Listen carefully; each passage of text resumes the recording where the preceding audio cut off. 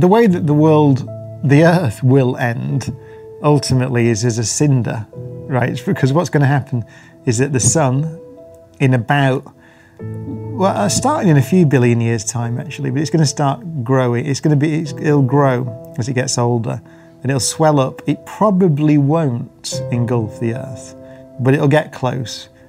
The Earth will probably drift out because the sun will lose some mass. So it probably, but it'll toast it basically. So the, the Earth will end up toasted as a cinder, probably still orbiting the remains of the sun, which will be what's called a white dwarf star, which is just something that basically fades away.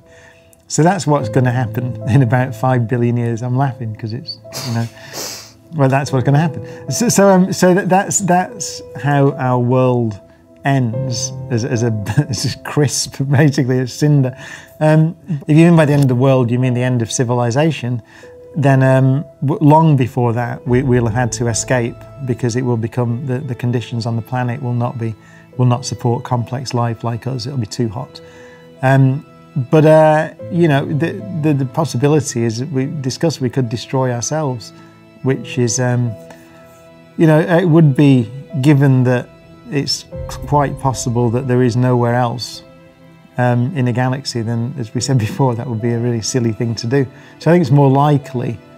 We, we might not have to wait for the sun to do it because we might do it through our own stupidity.